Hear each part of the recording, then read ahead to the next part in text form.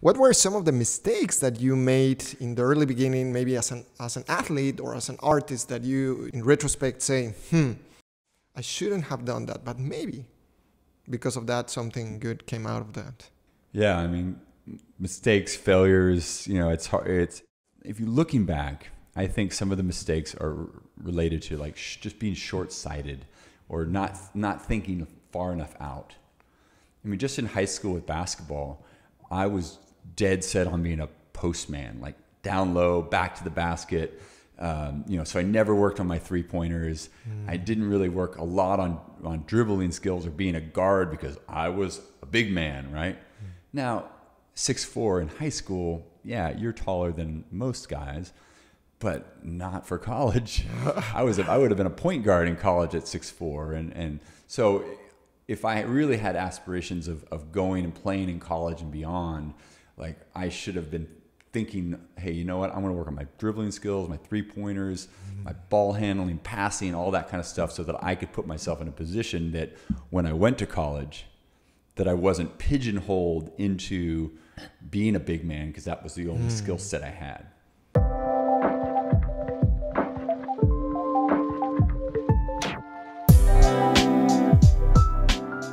Hello, boys and girls. My name is JJ Ruescas. Welcome to another episode of Optimizándome or Optimizing Me, the show where we interview very, very interesting and particular humans whose story, lessons, habits, and mindset are what we can extract and use in our own lives. Our guest today is a region director and virtual product director at Camp Gladiator here in Austin, Texas. He is the host of The Mindset Forge, a podcast that focuses on learning the lessons from successful athletes and performing artists. You know, people who show up in those big moments of performance, and he's a student of that. He has traveled the globe in ways that differ from a majority of people, and that's something I will talk about that today. The experiences acquired during those early years of his life are what shaped the athlete, artist, leader, father, and husband that he himself has transformed into now. I am very excited for our conversation today because we will interview the interviewer of what makes high performers tick. Without further ado, let me introduce you to Barton Bryan. Thank you so much, JJ. How are you doing today? Very good. Very good. Thank you for having me at your place, Barton. It's super nice to have you. Yeah, well, it's fun to do virtual record, you know, interviews because it's easy to talk to people from all over the world, which is great. But to sit down with somebody and truly break bread in my house, you know, is really special. So thanks for coming over, and I'm really excited about the next uh, hour. Thank you. Yeah. So let's go straight to the point. Who is Barton Bryan and what does it mean to be an athlete for you? In this case, let's start with athlete. So, what does it mean to be an athlete is really about using your body as an instrument to achieve a goal. I think mm-hmm. I think when it comes down to because there's so many different sports and there's so many different ways that we can use our body whether it's fitness, whether it's a specific sport like swimming or gymnastics, CrossFit, whatever it is, like we're training and fine tuning our bodies to be the best at something and to have a goal to be the best at that thing. And there's so many different types of sports. I mean, that could be that could be so many different things and trained in so many different ways. But I think at the core of it, our body, our instrument to create, you know, this goal or this this competition or this performance in a sport versus in like an artistic form. So I think the mm-hmm. difference that I really see, and we're going to talk about performance too, is instead of having an artistic endeavor, which would be more of a performer, it's an athletic endeavor, but there's so many of the same commonalities with our body is oftentimes our instrument. Hmm. And what does it, in that sense, mean to be an artist or a performing artist in this case? What do you think? Well, I think there's that next level of communication and expression that is why people show up to watch an artist perform. And that comes down to like, I, as an artist, you understand something about life that's that's common or uncommon, but you're sharing it with the audience, and that audience is going on a journey with you, and they're experiencing and they're actually f- potentially feeling or mm-hmm. connecting with that artist because of the expression. That's not at all the case with sports. Mm-hmm. You might revere somebody who's an incredible athlete, but they're not out there trying to get the audience to feel something. They don't I mean, not that they don't care, but they don't care, right? They're trying to win. They're trying to achieve some goal, and we're watching there as a spectator. Versus, I go to a theater and I watch a solo singer sing a, a concert or or a musician perform something, and I want to be swept away. I don't. I want to be connected with through the music, through the art form. I want, as an audience member, member to be transformed. And I think that's transformation is something that's really special and unique in performance, especially at the highest level. Now, how do you define who's Barton Bryan based on those two very interesting tags that we that we talked about now? Uh? Well, I think that we revere people who have achieved the highest level, but I think there's growth to be had in in striving to be better at, at those two different kind of mm-hmm. mediums in a sense. So I am somebody who strives to be my best as an athlete, you know, whether that's in the gym or just whatever I'm doing. I'm also somebody who strives to be a better and better communicator, somebody who would like to create something that others find value in, find passion in, find emotional connection in. And so, for those reasons, I think that I strive to be an artist and I strive to be a, an athlete. And I do those things to the best of my ability, and it's a journey that I'm on. It's mm-hmm. not something that I, I am an artist, I am an athlete. Like I'm on a journey and and I think that's just part of what's special about both of those is that it is a lifelong pursuit to do both. What is the key moment that introduced you into these two different paths? Do you recall? Well, I think it's if you look back. I mean, I'm almost 47, so I've lived a long, you know, life as it, you know, and went, and I've grew up as a basketball player, I think first and foremost. Was introduced to bodybuilding and working out in the gym through, you know, magazines, muscle and fitness and things like that at age 12 and 13. I was, um, and so fitness, bodybuilding, uh, sports, all those things were a big part of my childhood. I never sang, I never did theater, none of those hmm. things until I went to college. Now I played piano as a kid, and so I had a little bit of a, a musical background, but I really was very shy to do anything other than what I what I was kind of mm. Brand. Nah, nah, nobody branded me as a athlete, but that was what I did. Like, who's mm. Bart? Oh, he's the basketball player. He's uh. you know like, and there's a comfort when you're young and, and, insecure in high school. There's a comfort in being an athlete, but when mm. you I could have, and I remember thinking about wanting to audition for like a singing group or a, a choir or going to musical theater and going like, I love that, but I just never had the guts to right? do it. I never had the guts, and and you know, and that's part of that's adolescence. Like, unless you have great mentors or people that like see something in you and like help you kind of take a leap, mm. you oftentimes there's people that often just never get a chance to to do that until they eventually have the confidence to say, you know what, it doesn't matter. I'm just going to do it because it matters more to me than anything.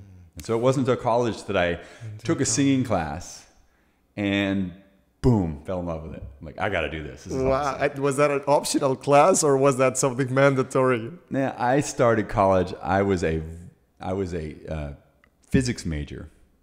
So I was like, because I was good at math. I was, I loved physics when in high school. It was one of the only science classes I took that I was like, man, physics is great. I love it. I'm good at it. So I was like, I went down to San Diego to be a physics major, and I took, so I took calculus and physics and the labs and all that kind of stuff. And I needed a couple more units to be, have a full schedule. And I'm like, oh, there's a singing class, two units. I'll just add that in. and then, you know, lo and behold, like that became everything. I was like, these two units that I was just kind of like throwing in there became, you know, everything that I cared about.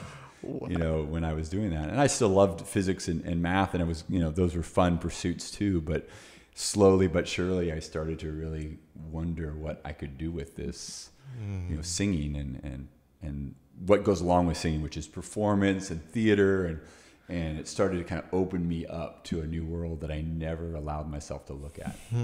And correct me if I'm wrong, but at the same time, you were still playing basketball. No, I, in college. So I went to college. I I thought about it. I considered it, but and I actually tried out for one day. I didn't like the coach. Didn't like the vibe that the, the whole kind of college uh, basketball thing was doing, and so I just I just kind of opted out. So I think I knew at probably at that point, at 18 years old, that I was probably heading in a different direction than mm-hmm. basketball. I mean, when I went to the school and the coach was like, "Why are you doing these math and physics? Let's let's get rid of those." And I'm like, "No, no, no, that's what I want to do. I want to do that." Mm-hmm. And they were trying to talk me to into doing just like real easy classes so that I could focus on basketball. You know, and I get it. Like they they're going to ask a lot of me, and so that. But I just I think I didn't realize it at the time, but I just was probably done with basketball and ready to kind of pursue something new and something different and and kind of see where I could go with it. So you were done with basketball, but not with athleticism in this case, or being an athlete. Not at all. I was so gung ho about bodybuilding. I was going to the gym every day.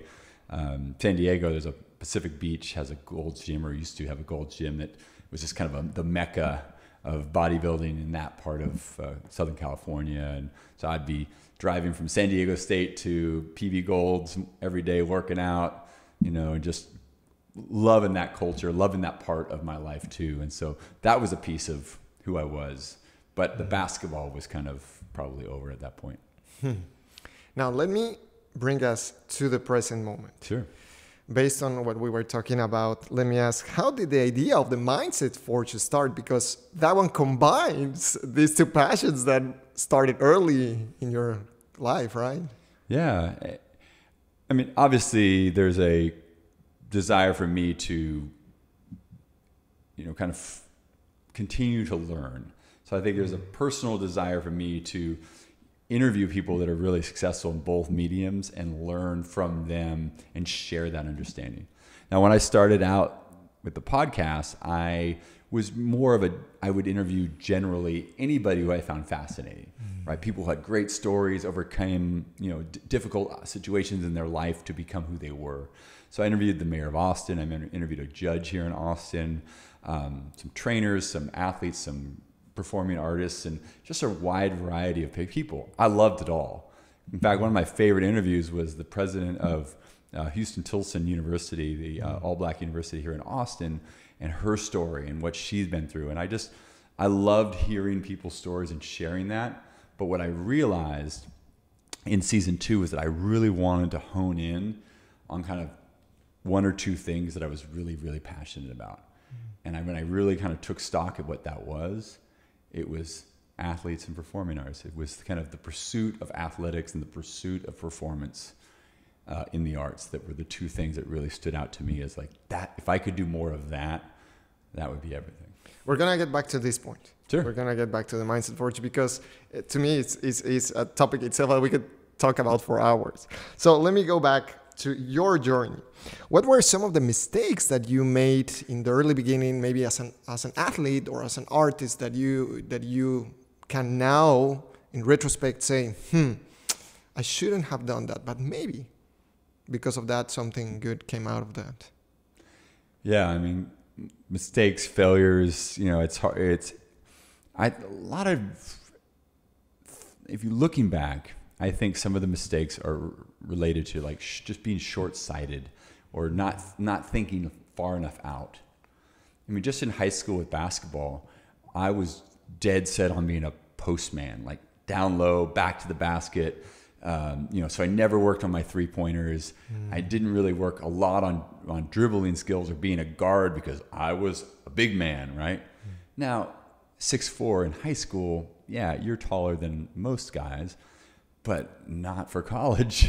I was I would have been a point guard in college at six four, and and so if I really had aspirations of of going and playing in college and beyond, like I should have been thinking, hey, you know what? I'm going to work on my dribbling skills, my three pointers, mm-hmm. my ball handling, passing, all that kind of stuff, so that I could put myself in a position that when I went to college, that I wasn't pigeonholed into being a big man because that was the only mm. skill set I had. So that's one. And I think the just to use the two the kind of duality of like performance and, and that's kind of one with sports. And with performance, so much of being a artist and singer and performer on stage is being able to be truly authentic and and expressive about things that are uncomfortable or that you know we don't necessarily think people want to see. I think one of the things that I had that I that took me long uh, that took me longer to kind of understand and get through was that I was afraid of what people would think of me hmm.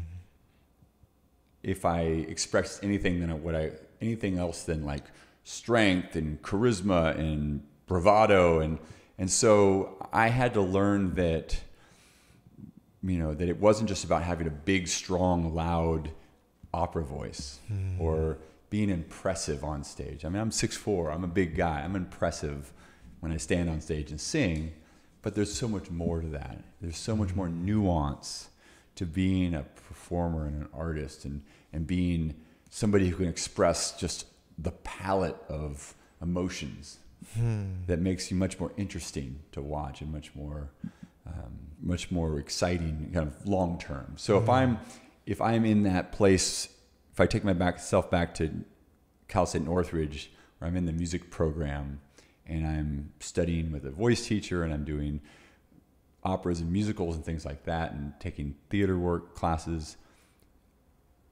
I think the, the mistake that I made is that, again, short sightedness, I was probably more about like feeling comfortable with the moment and like doing my best in the moment without thinking, okay, what do I need to do to be at the next level? What are some things about my my artistry that I need, do I need to work on to be to take it to the next level. And so I was good, but it didn't. I didn't. I wasn't able to go out and really like achieve in the professional realm. Mm-hmm. I was mm-hmm. good in in where I was in that kind of you know circle of people, but just again not thinking how do I get to that next level? What do I need to work on? What are my skills that I need to kind of continue to develop? Hmm. It is. It, it's very interesting what you said. Do not get pigeonholed in, in basically in the identity of what you got in one specific place, right? If I'm not wrong, this is what it's called being a small, a big fish in small pond. Mm-hmm. Then when we're thrown into a different pond or into the ocean, we, we say like, oh crap, I didn't know that.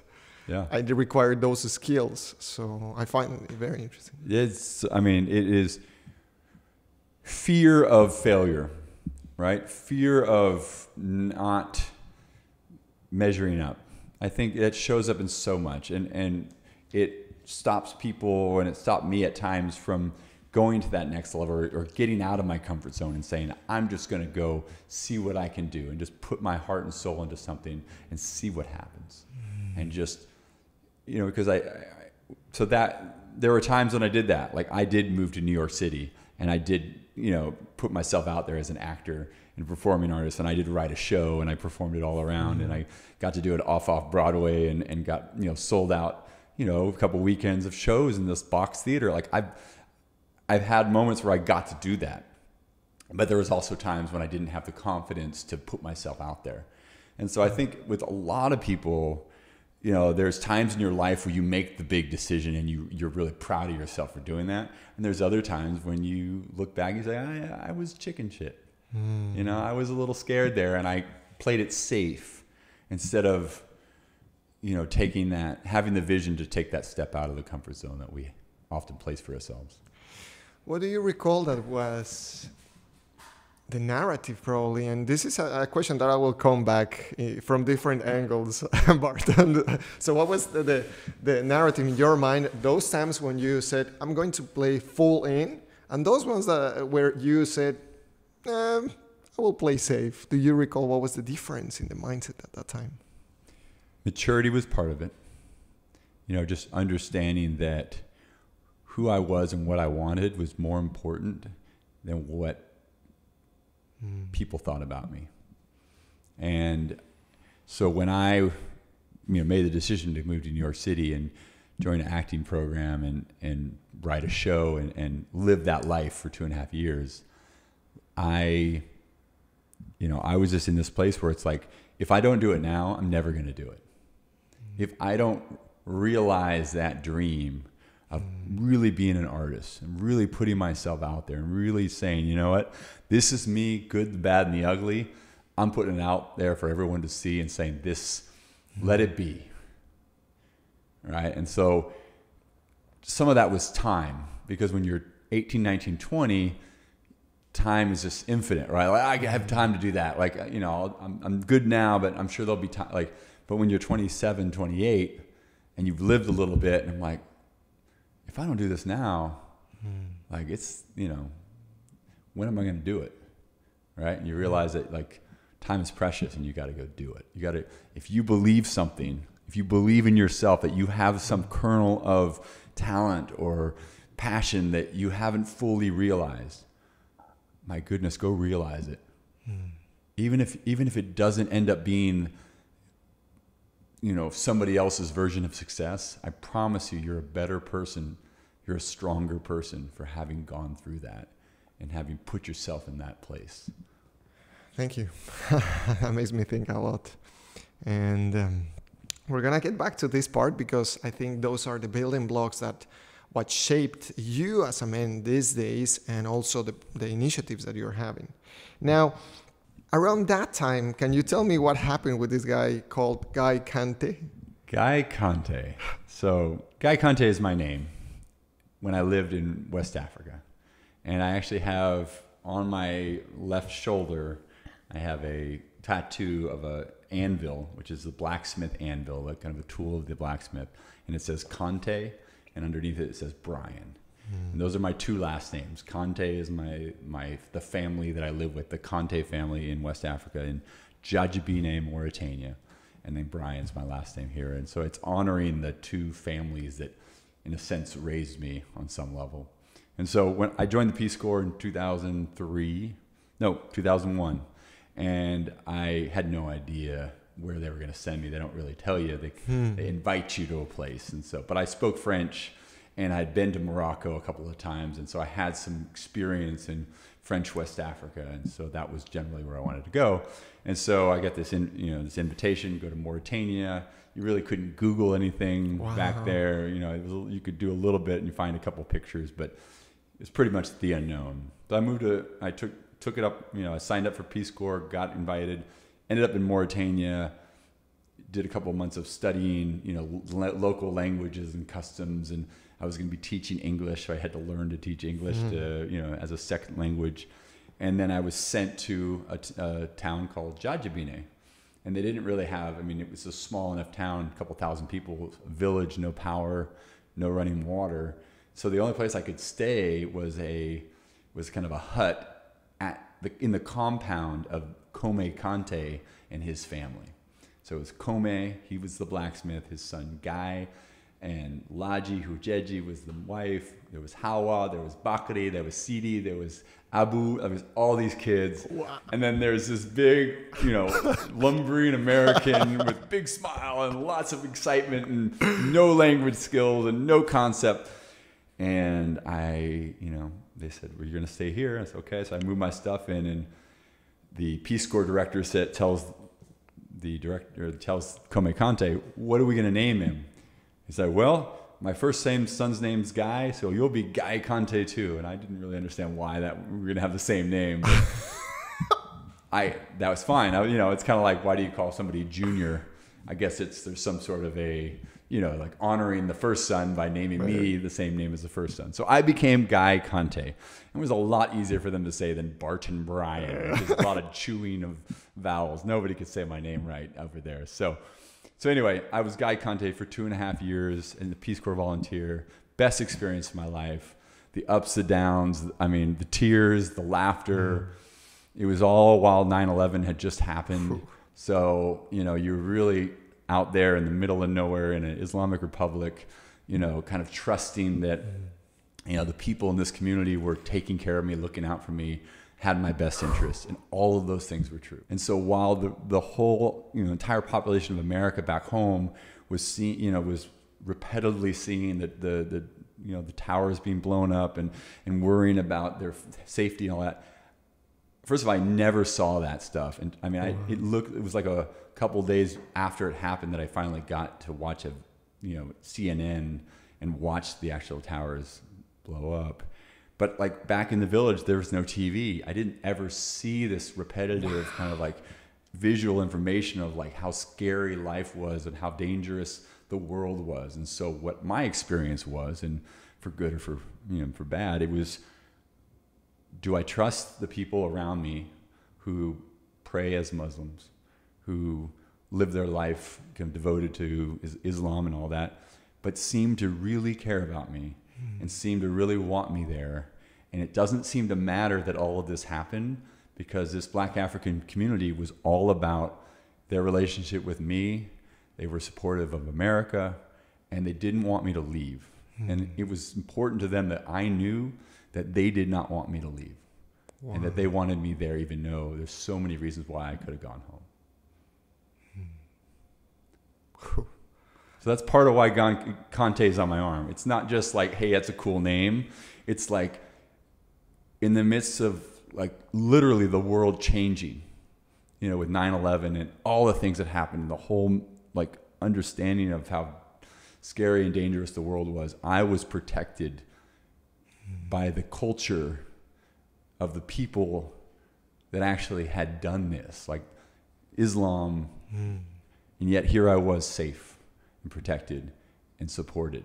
And so it was very unique and very special. And I, I, you know, make sure that when people ask me like, or have negative viewpoints of, of Islam or Muslim culture or whatever, I always try to tell that story hmm. because I think people don't realize that, like, you know, I mean, it's just, it's important people understand that human beings, you know, caring for each other is, is kind of the heart of who we are.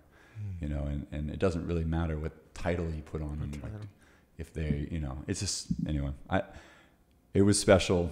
And Guy Conte was wow. a big part of why I am who I am today. Thank you for sharing that story. It's fascinating. Thank you very much. So that was the time in South, in Mauritania. Mauritania, yeah. That shaped clearly your vision of the world. Do you recall what was the the the shift that happened and maybe repercussions or how that affected the rest of your life even today with your kid how does that affect that that event so one of the things I loved about my village was at five o'clock at the mosque, all of the village elders would come and sit, and people would bring their grievances and questions and stuff like that. And so there was a village elder named Eli Gandega, and Ellie's no longer with us, but I was he lived in France for many years and worked and. Uh, so he had a different perspective of Mauritania and of just Western culture versus African culture and things like that. And so I had asked him, like, what, what's the meaning of life to you? Mm-hmm. And he said, when you're young, the most important thing to do is get your education and travel as much as you can mm-hmm. so that you can really see the world as the world mm-hmm. and not as something that you just hear about down on TV, on the radio, or whatever. Like to really see and understand the world, and and and to live within the world, and not just live within your town or your country. Mm. And I think you know, I just agreed with him. But I was the more I think about it, like the and I think about my kid who's seven and you know travel and taking him to Mauritania, taking him to my village at some point when kind of everything gets back to you know traveling mm-hmm. is appropriate and all that kind of stuff. But uh, you know, just wanting my son to experience the world and see as much of it as possible so that he can understand the way I did, you know, in my 20s, just mm-hmm. meeting people and understanding, respecting people and and appreciating just how most of the world is really really just about connecting with each other and about sharing and about laughter and about you know, wanting to find connection and, and understanding with each other. Mm-hmm. And, you know, of course, that's, there's other parts of the world or other aspects of the world that are dangerous and confusing and concerning. And, and I'm not saying that those things don't exist too, but, you know, to travel and to put yourself out there to meet people and and really you know make connections and make mm-hmm. have have something where a, a person makes an impact on you.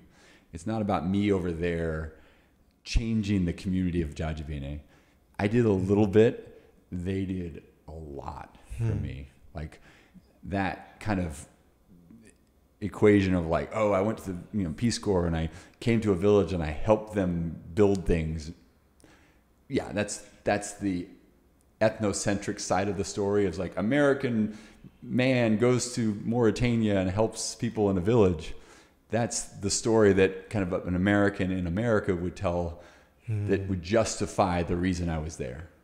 But what the real reason I was there was to open my eyes and to allow me to love and care for and and have an incredible time spending and learning about these people and their perspective so that I could for the rest of my life understand that mm. a we have it really really good here in America mm. but also there is something so much bigger than just you know going to the Eiffel Tower or mm. going to you know a town to see a thing to connect with the community to connect with people and to share to break bread in a sense is probably the most important thing that you can do when you travel And guess what? Sometimes we need to get marketed another idea so that we buy into the idea and we transform through through, through that experience. yeah Yeah, It reminds me actually part of what you said of how I got here to the US. I didn't know that the journey that was gonna bring me here Mhm. was going to be in your, like in your case a transformative journey that that now turned into asking people really questions about Yeah. their lives. So let me let me let me get us back to a little bit of the athletic and performing um, artsy journey. Let's let's bring it back here because now I understand where several pieces of your story start creating this this uh, mindset that you are ha- that that you have and the lust for learning from others, like you said. You, you basically you were open from that time, maybe earlier, to receive unbiased information and actually let yourself connect with other people through that. Is, is that along the lines? I think being coachable or being open to learn at whatever age is so important. I mean, I think teenagers often act like they have it all figured out, which is one of the reasons why it's really hard to talk to a teenager. Uh, but I think at any point in our lives, there's a natural desire for people to say, well, this is who I am. I've figured it out. I am this, I am this. We create a bunch of titles for ourselves. We exist in a small, a small enough kind of fishbowl where we could feel like a big fish, like we mentioned earlier. Um, and it's just very comfortable to be there. But the probably more interesting thing for me, and hopefully for a lot of people, is like, let's keep learning. Let's keep asking people that know things that we don't. Hmm. We don't necessarily have to want to be a Olympic swimmer, but man, asking an Olympic swimmer with three gold medals, what does he understand? How does he understand failure? Hmm. Like, sign me up for that, you know, conversation. You know, because if I grab one or two little ideas or nuggets from that that I can implement in my own life, like hmm. I'm one percent better or one percent closer to the, the journey that I want to go on and the place I want to potentially end up. So in that sense, it is the skill of being coachable and finding coaches or mentors in this case. Yeah. In in your case, Barton, what are the role models or mentors that you ha- had in the past, or maybe you still have here in the present? Do you recall? Yeah, I mean, one that stands out is when I was in high school, there was a personal trainer who basically took, he used to own a gym and he brought all of his gym equipment to his front porch. And it was rusted and it was, but a bunch of high school athletes and some like uh, older bodybuilders would come to his, his front patio porch and he would sit there and he would basically tell everybody what to do. And his name was Gary Mann. And so when I was 17, 18 years old, I was a skinny, like just, you know, lean and mean, but uh, basketball player body. And, and I, but I really wanted to like put on muscle and get stronger. And, and I had the aspirations of the bodybuilding thing. And I would go to his. I would drive from my town to to the town where he was, which is about 20 miles. And I remember the drive I did every day, and, and I, my friend, I got my friends involved in it. With like there were so many of us that would drive together. We'd carpool out there, and, and Gary is just one of those personalities that came from like a, an era of American history where it's kind of the strongman era, even mm-hmm. before really Arnold Schwarzenegger. Like he was in that time of like just people that would do really strong man things and, and had and he just had this bravado and persona that was just so electric and so charismatic.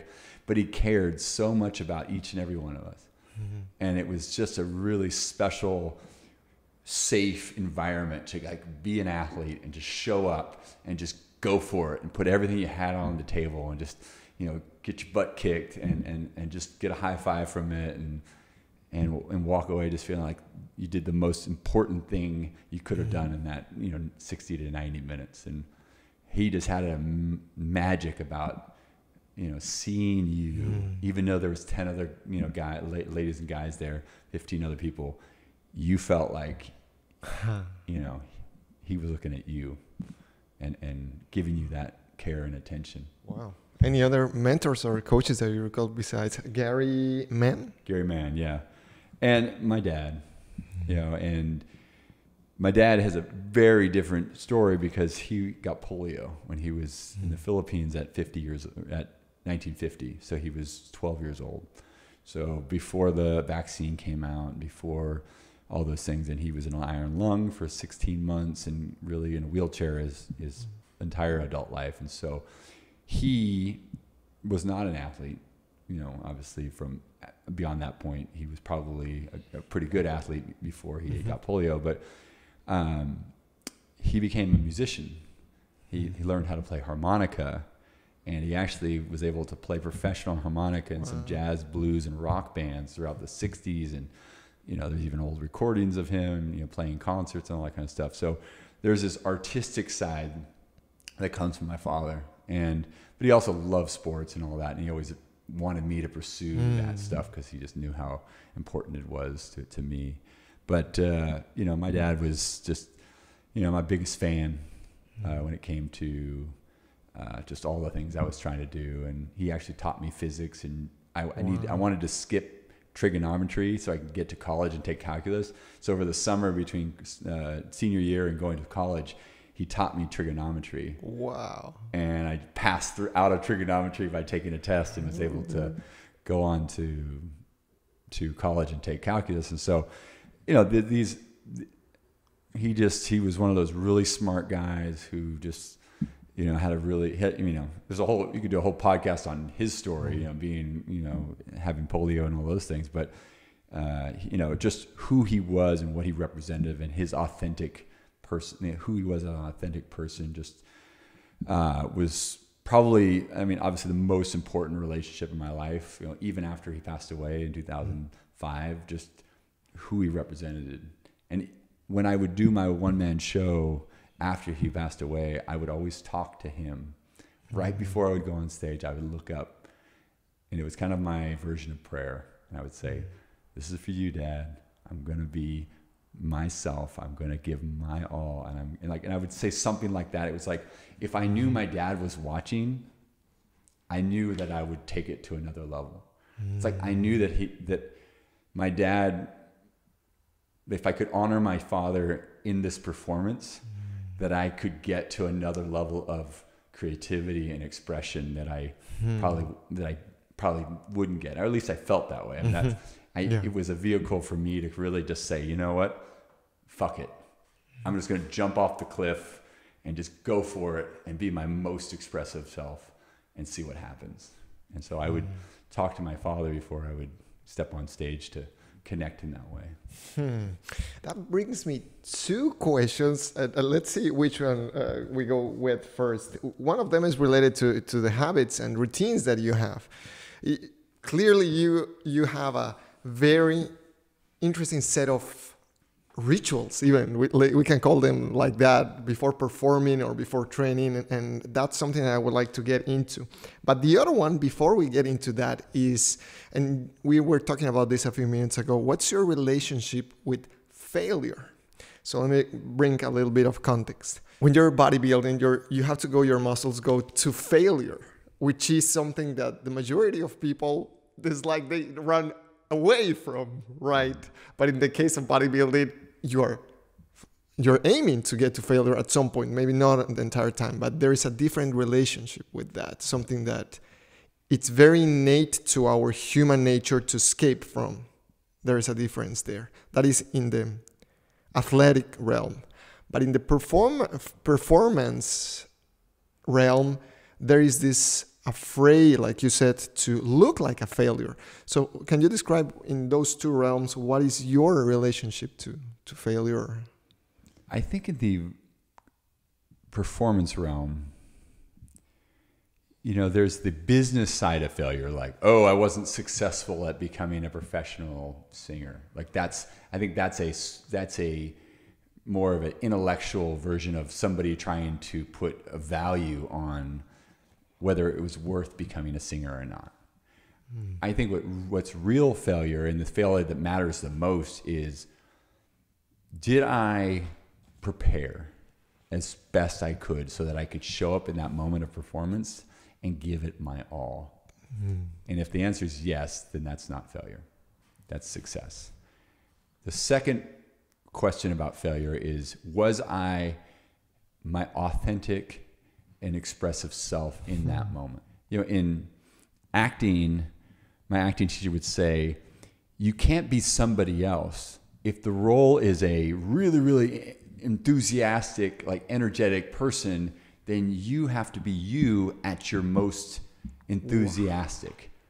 Right? You can't fake some other person. Like you have to your emotions are real. Like acting is living truthfully through imaginary circumstances. So you're so failure for me in, in a in, in a performance where you're acting or singing would be to not live truthfully hmm. to be to fake it, to have a shtick about my performance that's superficial and and, and for approval or mm. for laughs instead mm. of like to truly express the thing that I set out to to to show, right? Mm-hmm. So that's in and in that sense, that's really a personal growth kind of gauge, right? Like and in that sense, I want to avoid failure in the sense that like I want to show up, whether there's one person in the room or a hundred or a 1000 mm-hmm. and I want to be prepared, and I want to have the confidence that I did the work, so that when I'm stepping on the stage or I'm going to perform, that I'm not guessing what the words are, mm-hmm. trying to remember the notes, or like all those intellectual things that would get in your way and take you out of the moment. I want to be right. I want to be ready. I want to perform at my best. Uh, and then I, I just want to give all, give my all. And if it doesn't, if it doesn't work, if it didn't translate well, or the you know the room was kind of unaffected by it, then maybe mm-hmm. I need to look at like, okay, what what didn't go right? Like maybe what what did I miss there? Like what how could I make it better? And I think those are those are aspects of like you know success and failure that that you always have to be able to do as an as an artist is is kind of figure out okay was I my am I happy with how I showed up mm. and how I expressed myself? And if you could say yes about that then you go okay what are some things that I maybe could have done better? What are some things that maybe didn't work or that I could amplify that could make the experience or the performance even better and so I think th- those are, I want to kind of make sure that that is a, is a piece of the, the answer mm-hmm. because when you're doing a sport, you won or you lost, hmm. right? Like if I am, a, to use the, the Olympic swimmer, you know, I swim as fast as I can across the pool. And I, if I got first, I got first. If I, it, like nobody's going, well, the form could have been better there. And I wasn't really moved by how he flip turned there. Doesn't matter, right? You know, it's, it's who got to the wall first. Hmm. So that's a very like, you know, one one to one, you know, relationship with like, we just want to see you win. Mm-hmm. And if you lost, okay, well, let's think about look at the technique, look at the form, look at you know things that you could have done to to show up better and and be a little bit more technically uh, you know efficient so that you could win the next round. But when, when it comes to art and performance, then it's then it's a lot more personal and uh, and that's just the way it is. Like, and so so with failure, I, I really think if you if you don't, the problem that people have, I think, is that they get so wrapped up in not failing hmm. that they that they avoid the effort. They, like it stops them from giving effort. Like I don't want to fail at this. I'm just going to do a mediocre effort. Think think about business. Think about a podcast. I'm going to do an average effort. Well, you're never going to achieve what you want because you never went all into it, right? So if you if you never give the effort because you don't want to fail, then it wasn't worth doing anyway, or you or you didn't you failed at the very beginning because you didn't even set yourself up to succeed. Let's take all that back to the gym, and this is important because I think the under, the idea is that like I'm supposed to go into the gym and just crush my legs and like go to failure all the time. And what's actually so interesting is that and Lee Haney, seven-time Mr. Olympia, Lee Haney said this just a few months ago on the at the Arnold Classic. He said, "You stimulate, don't annihilate." And he's hmm. talking about when you go into the gym, it's not about annihilating your muscles like we kind of imagine that Arnold and his buddies did at Venice Beach or at, at, at the Gold's Gym, kind of mecca in Venice.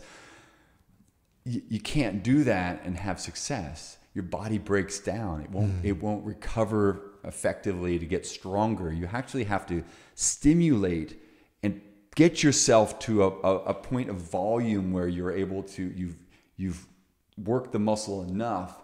But if you go too far, do too many sets, or do too much weight too many times, the nervous system just can't handle it.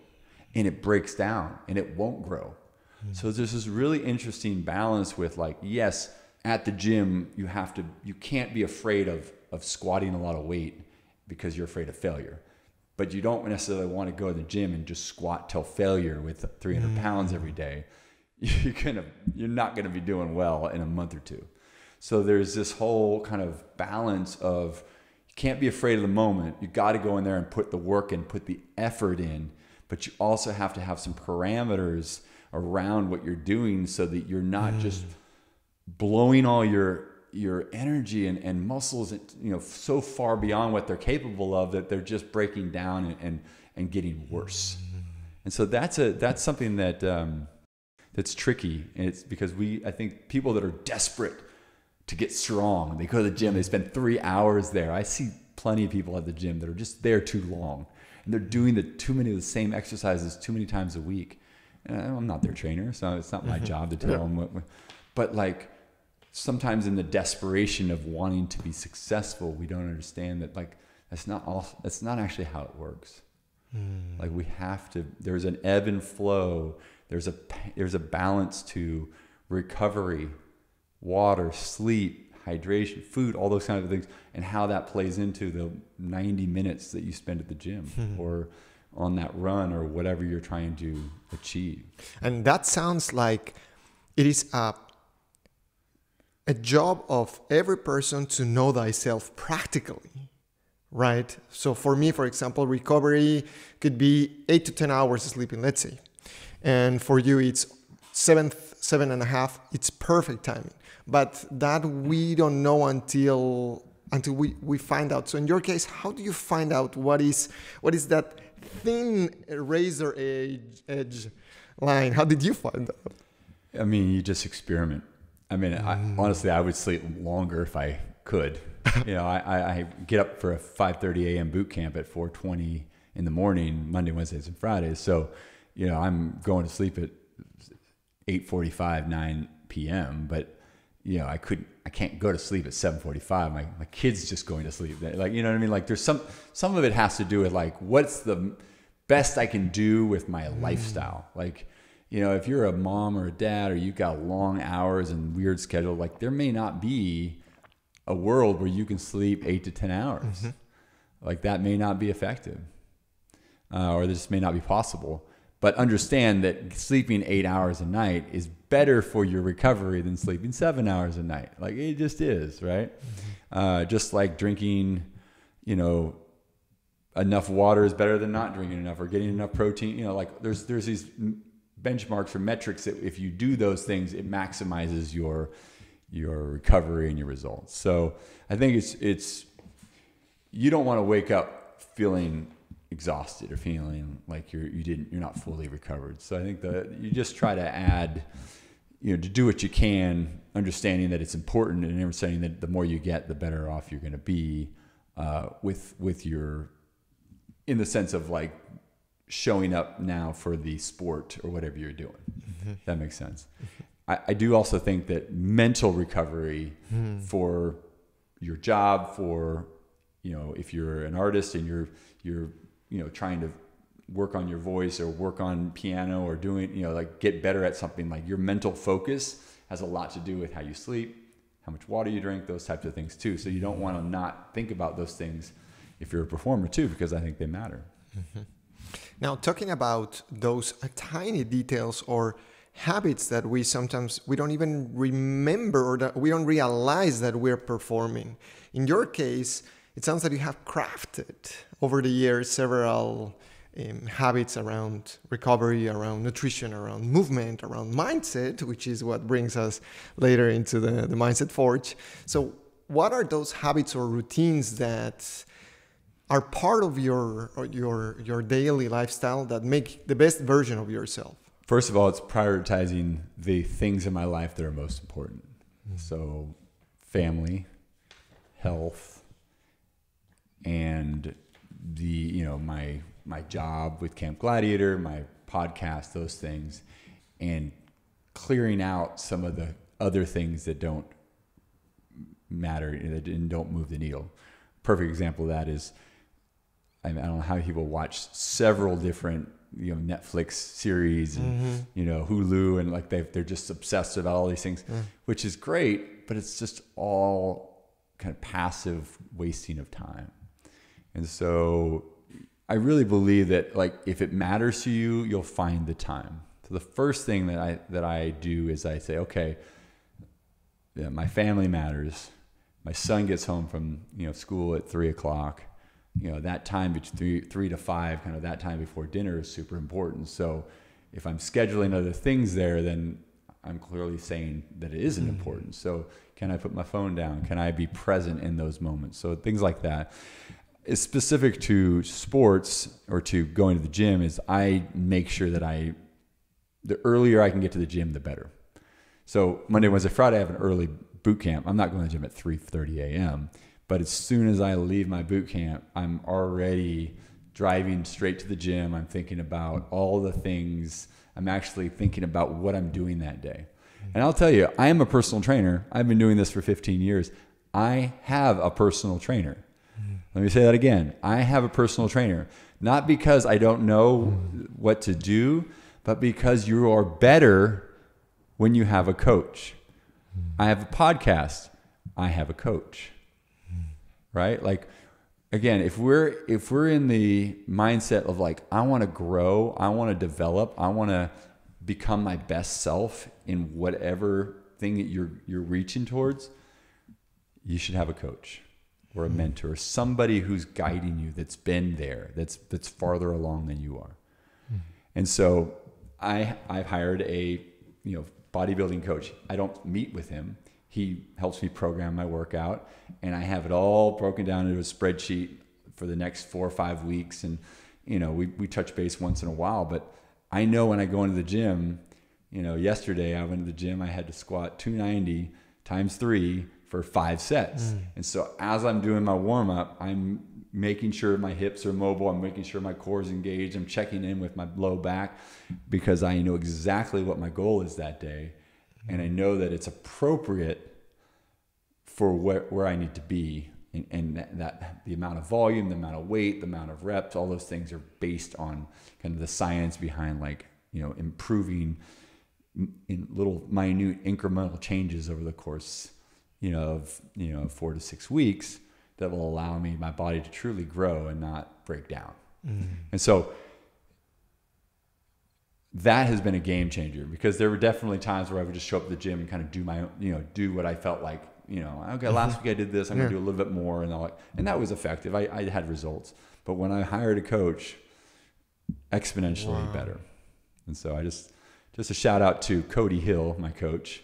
Uh, he's awesome. He's here in Austin, and uh, he's just he's just he's a man of science, and he Mm. no, the numbers don't lie. If you're you know building muscle and your numbers are going up on your squats and your bench and those that like you're going to get stronger. Like it's not a it's not magic. Mm-hmm. It it takes work and it takes you know repetition and all those things. Now, Barton, you have been doing the the the mindset forge for over a year, more than a year, Just over a year. just over a year. What are the lessons that you have extracted from those interviews? Well, first of all, that I love interviewing people. Absolutely love it. There's the energy and, and honestly in person. And thank you for that's why one of the reasons I love that you actually came here to my house because just interacting with somebody in person, making eye contact, sharing ideas is just it's a special way to, you know, take people's lessons in, of, from their life and share it with a lot of people. And uh, and then from a personal standpoint just getting a chance to learn and connect with people who are you know achieving at such a high level in whatever they're doing. But specifically lately you know of course sports and mm-hmm. performance. And so you know it's hard to pick one or two things that I've that you know been big the biggest lessons.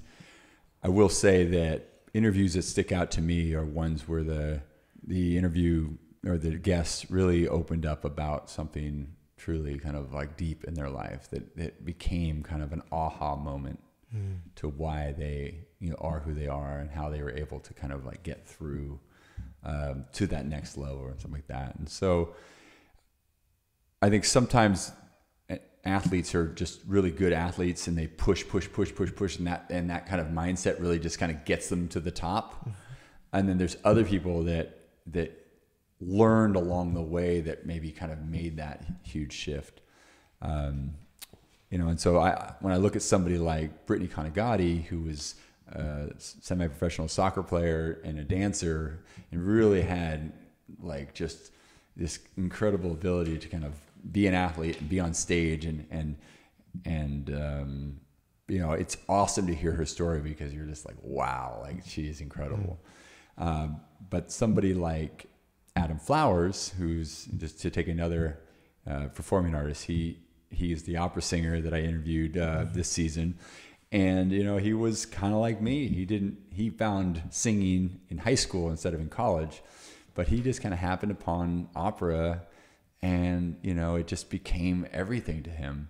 And it became this kind of monumental moment where he uh, where his life kind of shifted and he realized that he wanted to do this but he he almost kind of talked himself out of it so many times until people got in his way and said no you're supposed to be an opera singer. Like you, you know and and I don't know just every story whether it's specifically relatable to your life or not I think is an opportunity to learn something or appreciate something about how people are and how they how they you know choose the life that they do. I think the thing about people who are great at performance, whether they're athletes or performing artists, is that they have they challenge themselves at that thing so often that they really get to fine tune that thing that we might not want to deal with all the time. You know, just showing up, being very present, being very um, just willing to put it all out there daily, Mm-hmm. failing at it over and over until we eventually get really good at it. And so that's mm. it reminds me to do that on a daily basis. It reminds me to also just just embrace the journey and you know not be so judgmental of people that aren't necessarily like on that path like but just understand that like people people are at whatever their place they're at in their life because of a set of circumstances and yes i'd like everyone to be kind of learning you know in this kind of growth mm-hmm. mode and learning but i understand that like just getting somebody to listen to a podcast you know sometimes that's just impossible to do for whatever mm-hmm. reason. They just don't want to click on a link and spend 45 minutes listening to a podcast and i just i've just got to a place of more acceptance around you mm-hmm. know people are either ready to learn or not and they're going to respond well or they're not and that's just kind of how people are and my goal is to help people who are ready to learn and want to kind of take another step in the direction of, of growth and, and achieving what they want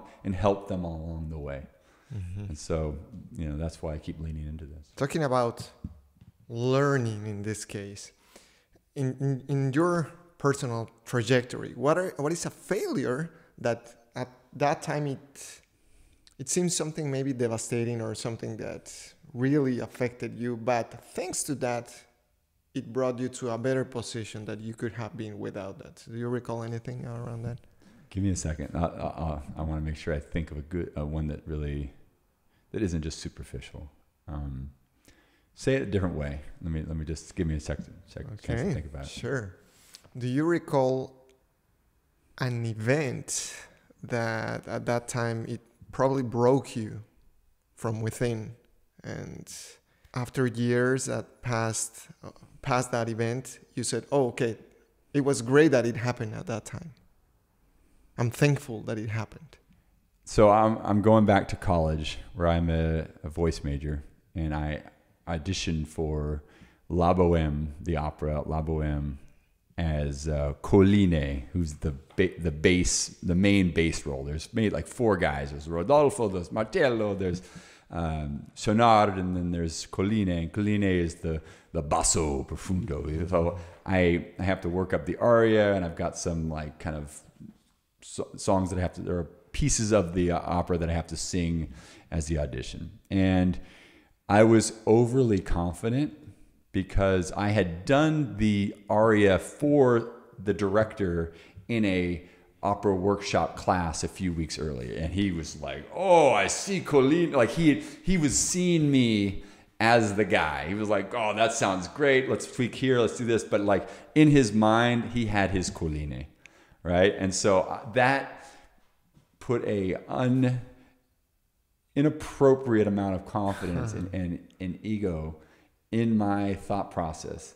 So I was like, I don't, you know, normally you would hire like a, a, a pianist and work through the like other pieces and make kind of get them right and make sure that they had all the kind of inflection that would be, but I, I was going to do that myself. I didn't, you know, and so I, I, I rehearsed and I practiced and all that, but I, I needed to have done more. I needed to have rehearsed it more because I went in there and I sang. You know, it was I was on stage in the in the in the opera auditorium, and I sang the aria, and it was fine. But when I got to the kind of recitative and kind of the more of the like talking stuff, where you, you know, it's not it's not an aria, but it's it's so it's a little bit more technical and it doesn't it's it's a little bit harder to memorize, and I just froze, and like it's like all of the music just went gone, like it was gone, and and so I just kind of I we we tried it again, tried it again, and I just kept stopping, and I'm so I just said I'm so sorry, Dr. Scott, I'm so sorry, and I walked off stage. And what I should have done was immediately gone to his office and said, I would like to apologize for not being prepared and, and, and just I'd, I'd like an opportunity to, to make it up to you and, and show you what I can do. And I didn't do that because I was so embarrassed because my ego was too, I was, you know, I had, I had my ego and then I failed. And then that failure turned into embarrassment and turned into shame. So I never really addressed it with him and then and then and then it was just like okay now i just wait and see if he's like gonna like gift me the role even though i totally bombed it or if he's gonna like and so a couple days later you know i hadn't heard from him he hadn't heard from me and he puts out the the roster and i'm playing a small role you know i'm still in the show i'm not in the chorus but i'm not colline. And the other bass baritone in the opera got that part and he was going to play it the whole time. So he was basically dr scott was going to put me as the they were they, they tend to always put two characters or two two singers at in the same role. So i might sing it one night and then the other guy would sing it the other night. And it, you kind of so it gives two people a mm-hmm. chance to sing the same role so he got the role so you know basically i lost the role and so devastating but also like what an important lesson about like you got to have your ego in check like and you never it's nothing's nothing is just like going to be given to you. Even if you think like, hey, this you know this guy likes me, he, he sees me in this role. I still have to show up and be and remind him again and again that I'm not a joke. That I'm I am serious about this and I'm ready to take on this role. And so yeah, I I didn't get it, Hmm. and you know it was, it was a tough pill to swallow at the time. Um, but I mean, I, I look back and I say, you know, what did I learn from that experience? That was probably the last time I made that mistake of not being prepared, hmm. of not showing up at my absolute best, or at least at, at a with with the stakes that high. You know, I mean, I, I'm sure there's times in my life where I could have been more prepared, but like with stakes that high, that lesson taught me probably more because I didn't get the role than had I become Colline and gotten to like kind of live out that that dream of playing that character. This this section of what we are talking about and uh, another ones uh, not so long ago actually during this hour remind me a lot of we don't rise to the level of our expectations we fall to the level of our practice basically is that along the lines of That is exactly what happened. The expectations were up here. I mean, but the prac- the actual practice and preparation I put in was minimal because I already knew the aria. I mm-hmm. already had that song memorized. I'd performed it so many times that I just assumed the other stuff would be easy, no problem. Like so, I I set myself up to fail because I did not put in the work. I did not meet the expectations mm-hmm. that were, that that w- should have been where I, where I where I showed up at. So hmm. So let me couple this realization or lesson from practice, expectations, and in between what we're talking about. What happens when someone is has practiced enough, has all the muscle, all the memory muscle, or all, all the performance has been nailed down to the point, but when it's time to perform, there is stage fright I guess you've been in those situations as an artist and maybe as an athlete as well. How how do you deal with stage fright, even knowing that you're super prepared? And it, this is a funny thing because I'm realizing how the mind is so tricky that if it's not this trap, there is another trap and another trap. it's it's something that you know performers deal with all the time, and and and Taylor Brown, who's a mm-hmm. mindful s- performance coach, talked about uh-huh. you know just how we have to those things are going to be there. We can't not we can't expect that you show up for a really important moment in your life and that you're not going to have fear, anxiety, stress, whatever. And if you're doing a physical activity, whether it's performance or or sport, that stress is going to affect your body, the tension in your body, the way you breathe, all those things. So it's even more important that you're that you're aware that those things are going to come up and that they're going to affect your body which if your body is your instrument so if you're a dancer mm. singer actor anything where your body is expressing your art then you better have a really good grasp of how to calm your nerves down. So one thing that just happened is in the interview that I was talking to an MMA fighter he was talking about how do you get ready for a fight you know where you're you know where you're you're gonna literally go out there and fight for your life. Uh, and he talks about breathing and and mm. getting in kind of a parasympathetic state. And i think for me going back to like talking to my father that was a way for me mm. to not just like settle my body down but also connect with something that was more important than the stress mm.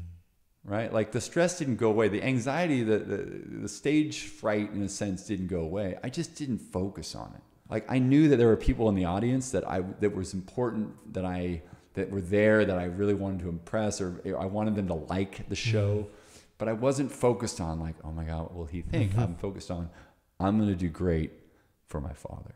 Mm-hmm. I'm going to express myself at my best ability, you know, and so it superseded the the anxiety and, and those other what we call negative emotions and it allowed me to to flow and to let my body kind of relax into what I was doing. You know, uh, you just remind me of something super interesting. I just learned that Warren Buffett, when he has to to um, write a a report for advisors and all the board and blah blah blah, mm-hmm. he writes it as if he would be talking to his sister, and he writes the entire letter at, at the end instead of Elizabeth or wh- whatever was her her name dear board of advisors or board, right? So, so he changes the entire focus, like you said. In this case, he was performing on a business side, let's say, with that report that he was creating. And in your case, it is the performance. And even though there are stakes there, people expecting something from you, you are actually more focused in, in, in, your, in your personal commitment. In this case, how you want your dad to, to have experienced this one. Is that? Yeah. Yeah, I, I, think sometimes it really is helpful to to actually put somebody out in the audience who's like, I'm I'm communicating to them, uh-huh. right? Because that person may be a like someone who loves you and doesn't you're not feeling judged by that person out there.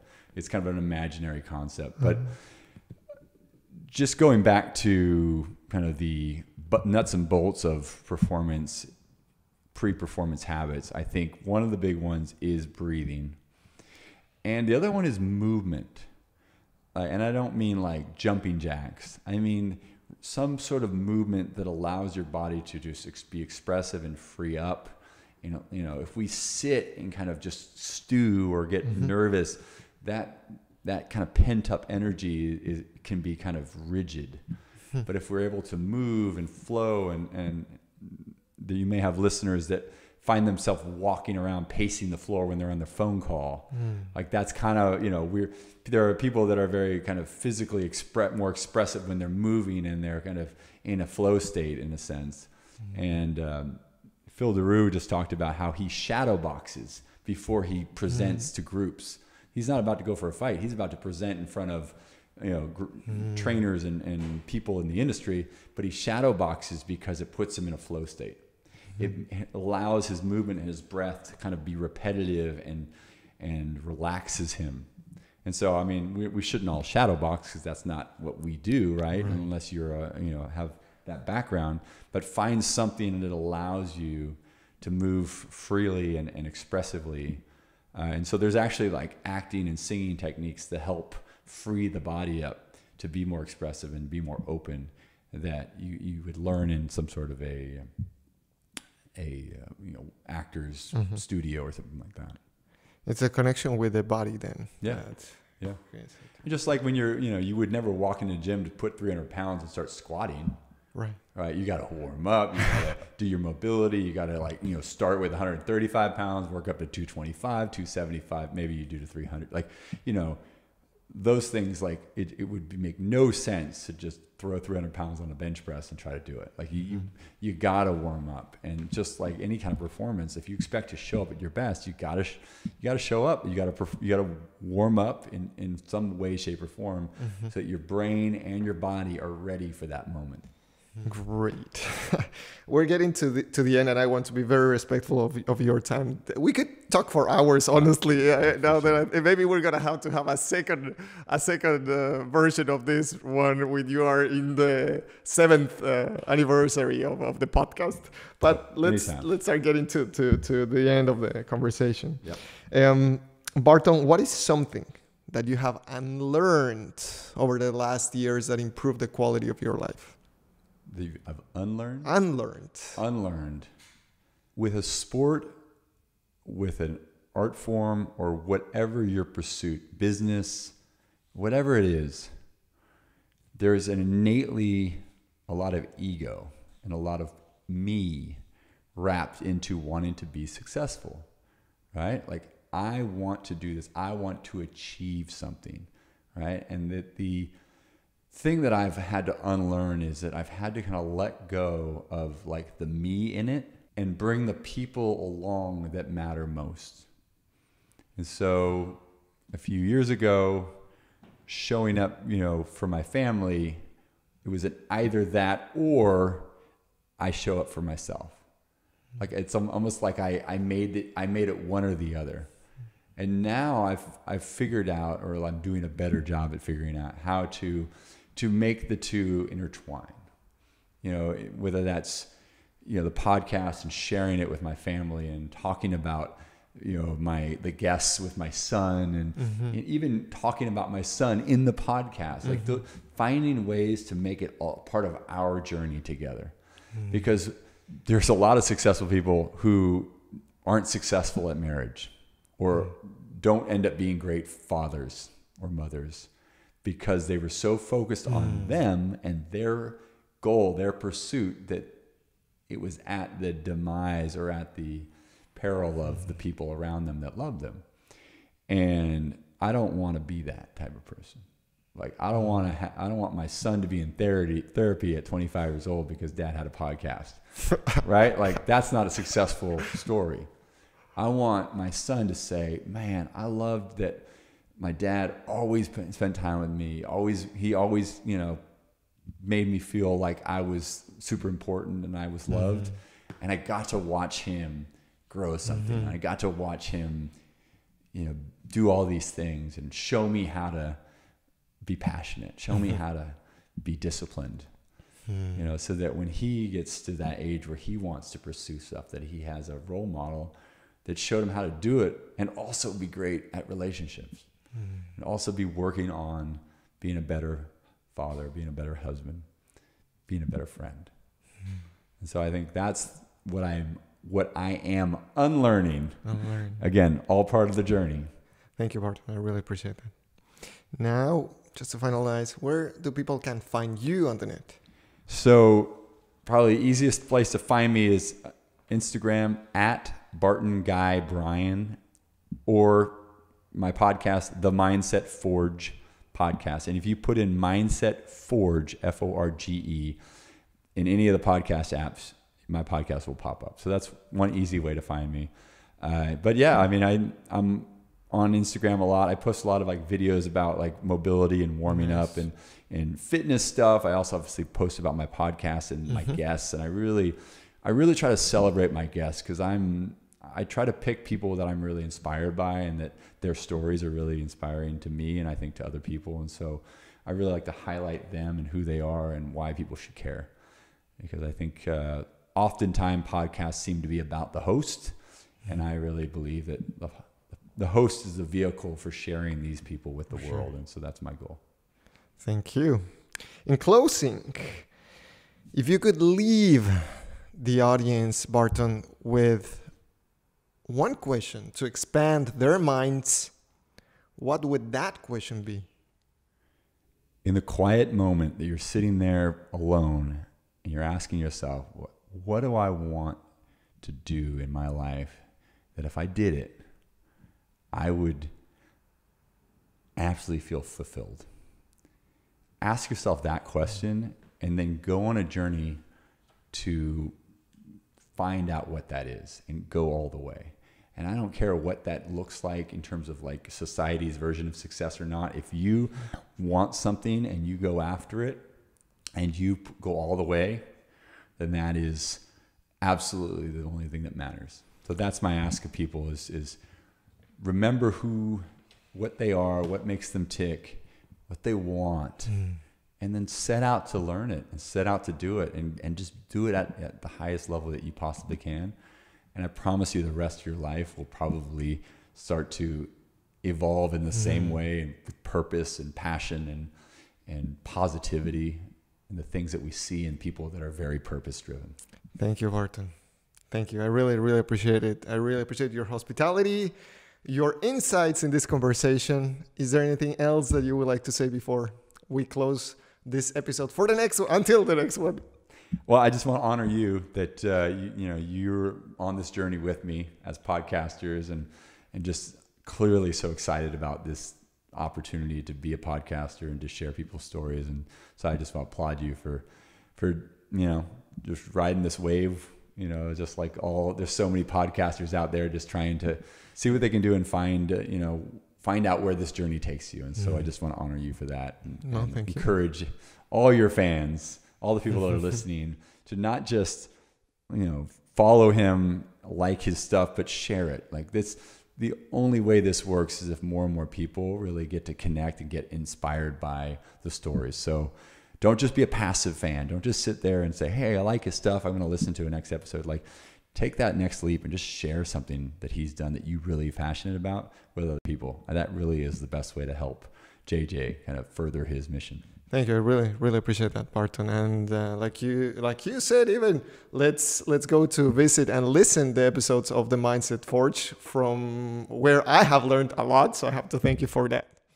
So thank you, guys. Uh, this was the interview with Barton Bryan here in Austin, Texas.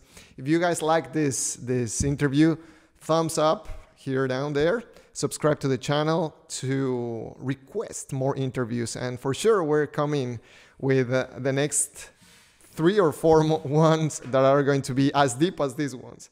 So that was all for today, and I'll see you soon. Thank you, guys.